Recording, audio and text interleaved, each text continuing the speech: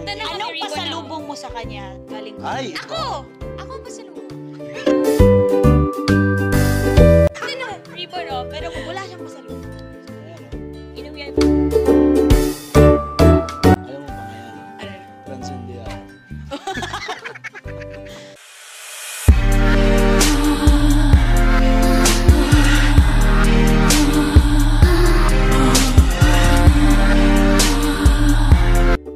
Sa katatapos na ABS-CBN Christmas Special 2022, naging host ang komedyanteng si Alora Sasam. Sa mga games ng mga celebrity attendees, katulad ni na Seth Fedelen at Francine Diaz. Sa game bubunot sila alternately, ng action word, tapos yung pangalawang bunutan, body part naman. Ganyan. Kurutin. Ang Ah, kurutin. Halimbawa kurutin ang noo. Okay. happy. No.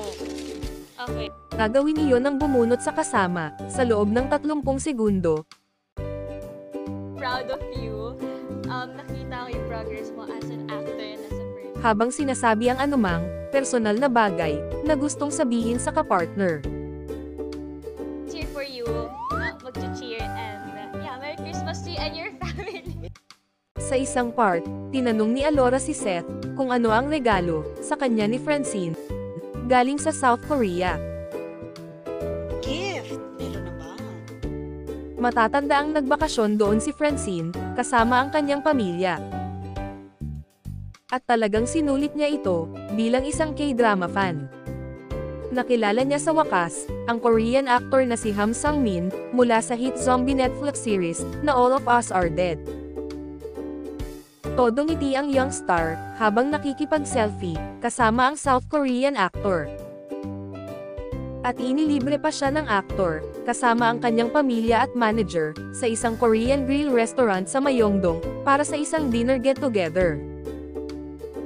Balik tayo kina Francine at Seth, nang tanungin ni Alora si Seth, sumagot si Francine, with huge confidence, at sinabing ako ang gift.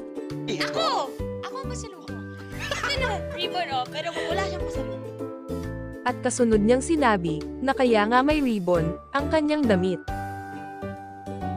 Sumang-ayon naman si Seth, at sinabing binigyan siya, ng isang Koreana ni Francine, Pero wala siyang pasalubong.